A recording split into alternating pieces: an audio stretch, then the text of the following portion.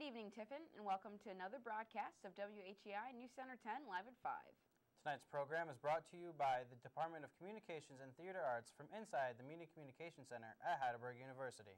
News Center 10 live at 5 is your number one campus source for bringing you the latest news around the state, around Tiffin, and around the Berg.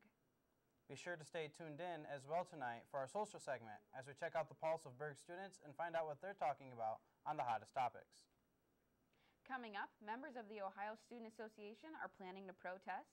And also, learn how to keep up on your studies. We'll also catch up on social media trends. And check out the latest news in Heidelberg sports. Don't touch that remote. News Center 10, live at 5, starts now.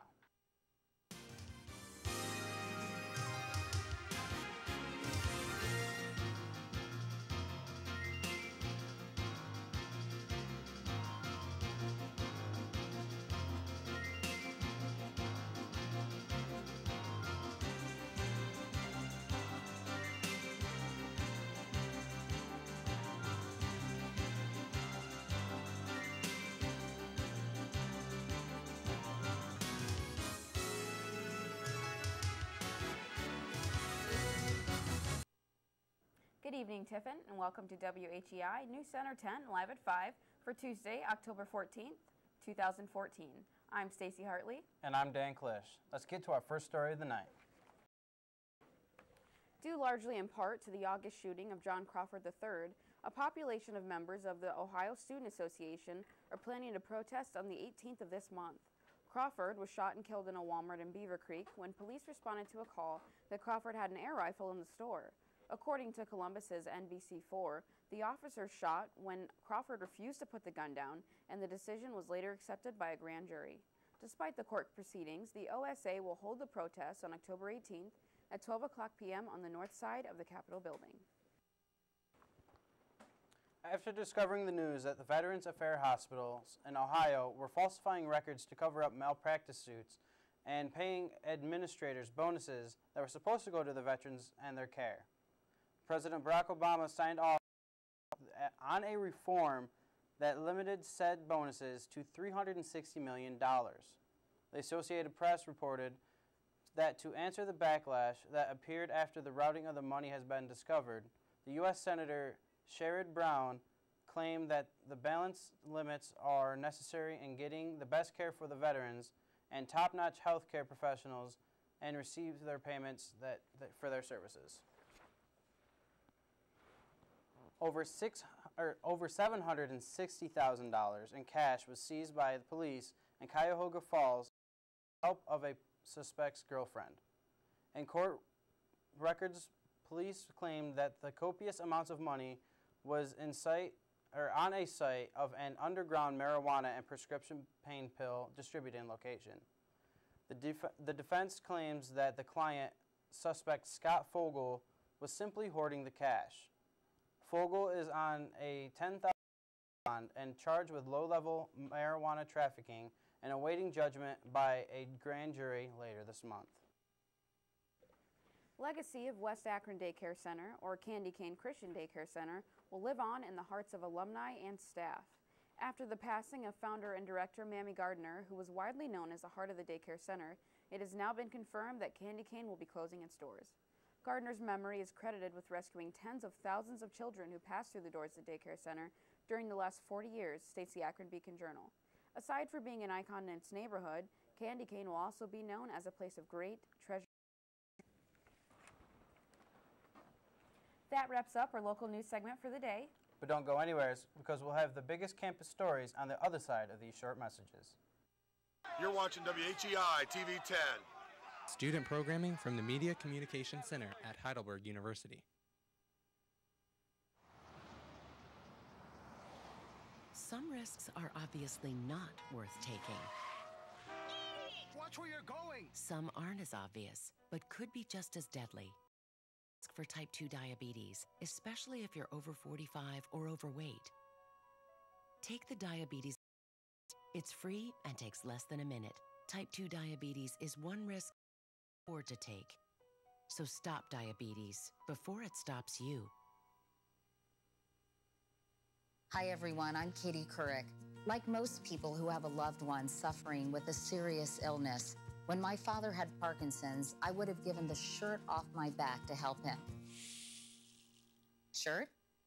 Put the shirt on your back for Moving Day, a new day for Parkinson's and for our city. The National Parkinson Foundation's first ever fund. Help us change the world for the whole Parkinson's community. Make your move today at parkinson.org. The School of Music and Theater presents Avenue Q in Gundlach Theater, October 23rd through the 25th at 8 p.m. and October 26th at 2 p.m. Humans and puppets interact in this tale of 20 somethings learning how to live and love in New York City. Think Sesame Street with adult themes, humor, and song. For more information, go to facebook.com backslash Heidelberg Theater. Welcome back to News Center 10, live at 5. Let's get started on our Heidelberg Campus News segment. This past Saturday marked Heidelberg's 2014 homecoming weekend. After various activities and voting, the students nominated Janelle Wendorf and Austin Hunter for Homecoming King and Queen. Another event was the week from the weekend was a Hoernemann Stadium dedication. There were many different events that were scheduled for the dedication.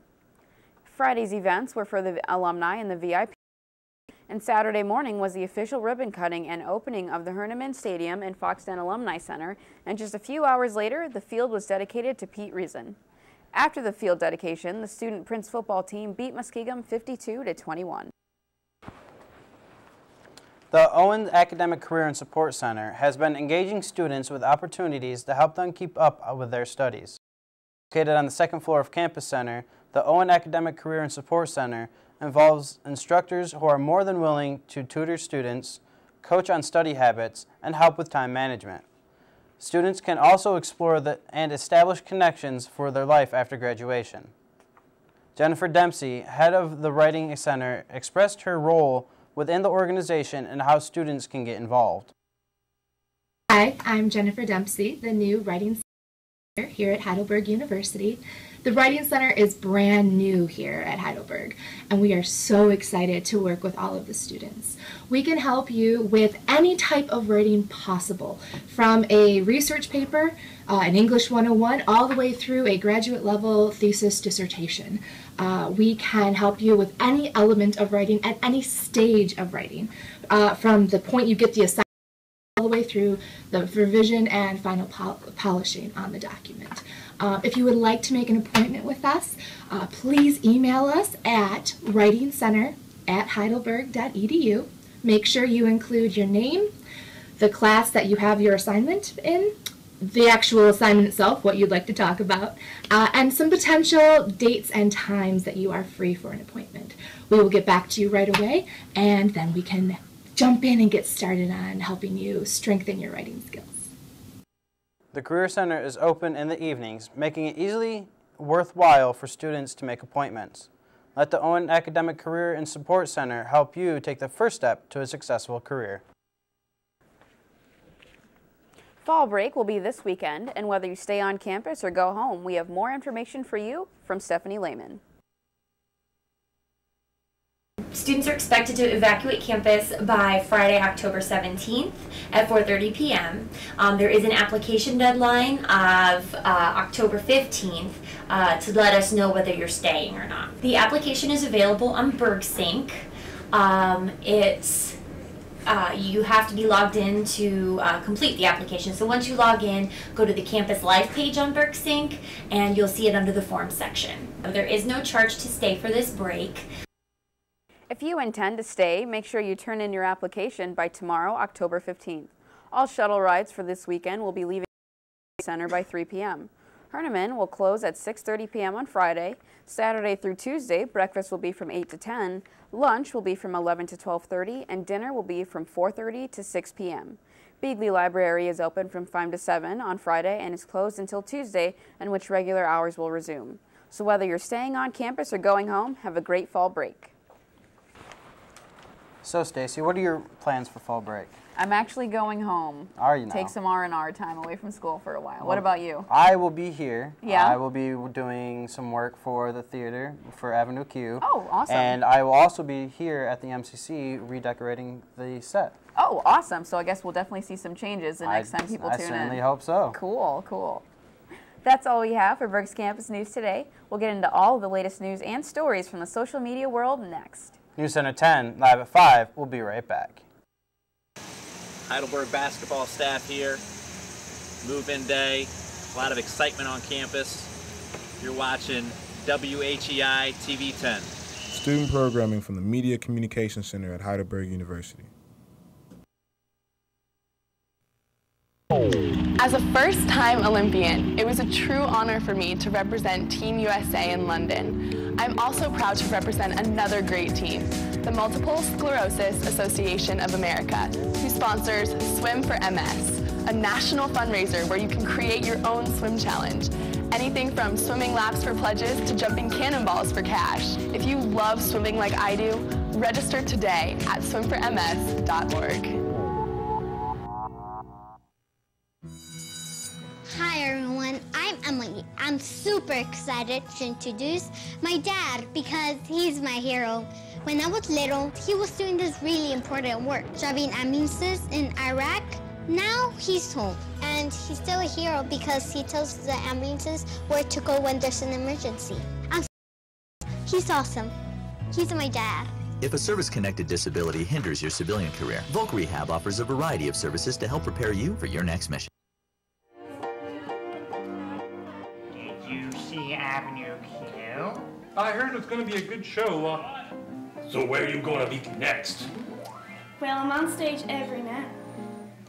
Ah, how many times a night? As many times as you want me, don't What'd you do yesterday? I went to Avenue Q. It was so much fun. Me hope you come to see show. It good, especially with her. Ah. Hello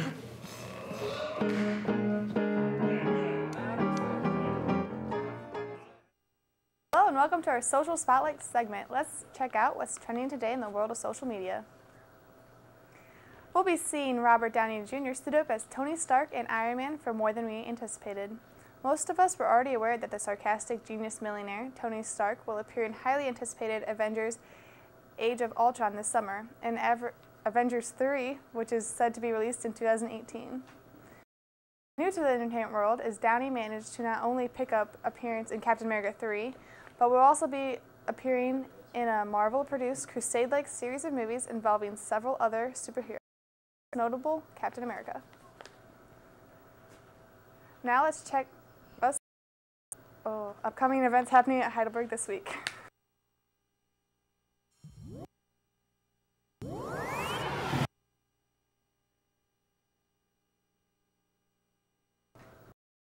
have for our social spotlight segment tonight. Let's send it back over to Dan and Stacey at the news desk. Thanks, Margaret.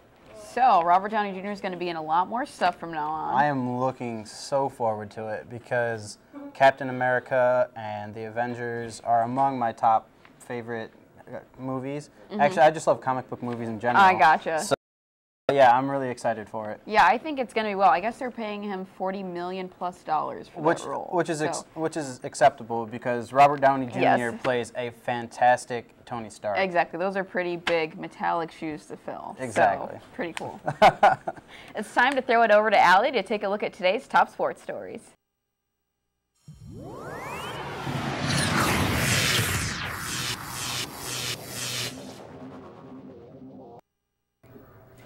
Junior Stephen Smith is doing amazing things for the football team, including scoring the first six points in the homecoming game over the weekend. He is currently ranked second in the nation for most points per game. Smith was nominated as the OAC Special Player of the Week. Stephen learned the fundamentals of kicking from his older brother in sixth grade. Throughout junior high and high school, he played football and soccer. Smith picked Heidelberg because of their music program and the affordability because he could commute. After talking to the football coach, he decided that he would try kicking for Heidelberg. He has loved it ever and has been a huge asset to the team. Well, I chose Heidelberg originally for the music program. I'm a music major here, so the music program is really what drawed me, and I also live here in Tiffin, so financially it was a it was a very nice fit. And then once I committed here to going to school here, Coach Donaldson, the defensive coordinator, contacted me about playing football. And I was kind of going back and forth for a while, so finally I just decided to give it a try, just give it a year to see how it worked, and it's all worked out really well ever since. The Heidelberg women's soccer team took an early lead, but were unable to surpass that level of play throughout the game as Muskingum pulled away for a 4-1 victory. Continuing their impressive streak of success, the Heidelberg volleyball team swept Muskingum to move their seventh streak to move their winning streak to seven matches. The men's soccer team continued their strong start to conference play, recording a 3-0 win over Muskingum on Saturday, October 11th. The Student Prince football team toppled Muskingum University 54-21, wrapping up a crisp homecoming afternoon. That's all we have for your Berg Sports today. Now let's send it over to Stacey and Dan. Thanks, Alli. So, uh, did you get to see any of the scoreboards this weekend or no? No, I did not, and I'm actually very bummed about that. Could you fill me in? Yeah, all Heidelberg football was it was an amazing game. I keep It- hearing that, Yeah. Like the first half was full of energy. Okay. And there was a lot of special teams plays that were made. Uh, Cameron Vokey scored two touchdowns off of blocked punts with, Wow. within the 10 yard line. And the crowd was really, really excited for that. Well, that's cool. I think a big part of obviously we want to do well, but I love when you know student sections and parents and alumni come back and show Exactly. support. I feel like that the energy for that game for homecoming would have been awesome. I'm For so sure. bummed that I missed it. For sure. It was I'm Sure it was great. When we return, $25 million has been donated to fight Ebola. Student programming from the Media Communication Center at Heidelberg University.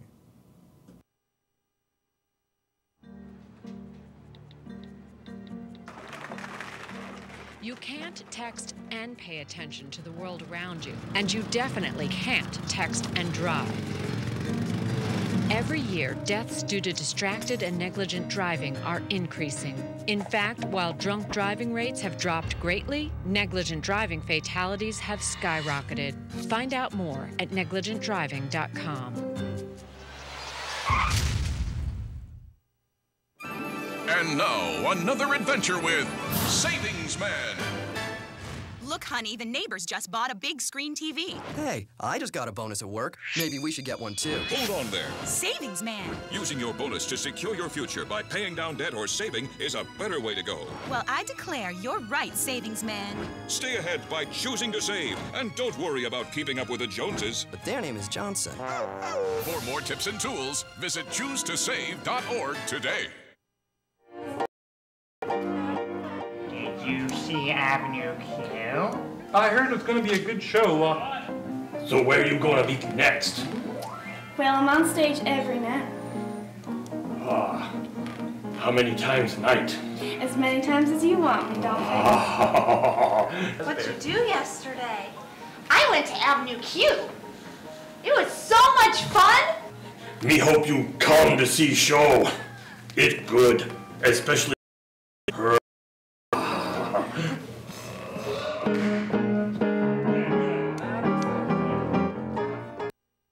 back to WHEI News Center 10 live at 5. Let's get to our last story of the night.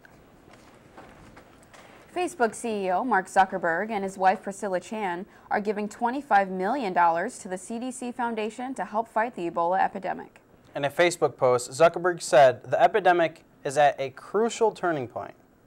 Mark Zuckerberg also stated it has affected 8,400 people so far, but it's spreading very quickly, and projections suggest it could infect 1 million people or more over the next several months if not addressed.